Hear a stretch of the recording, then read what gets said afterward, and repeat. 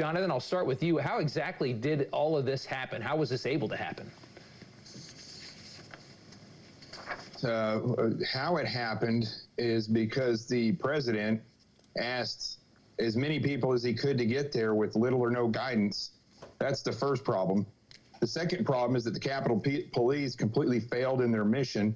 And but the overall arching re- reason that it happened that nobody's talking about in media is the fact that the American citizenry is angry. Yeah. They're angry on the left, they're angry on the right.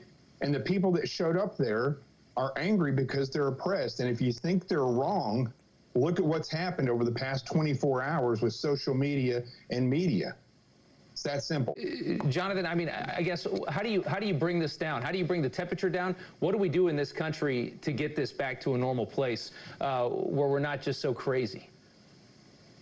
Well, I'd recommend the government start doing their job first of all, and uh, second, look, I'm a realist. That's the, the bottom line of this is that uh, the first of all, the people have to realize that they're the answer, not the left, not the right, not the Democrats, not the Republicans.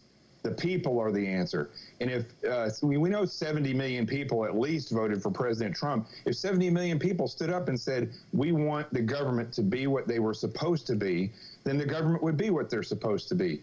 And the same thing with the left. If the left, uh, and I'm talking about the citizenry, realize they're being played just as hard, they would stop with this nonsense.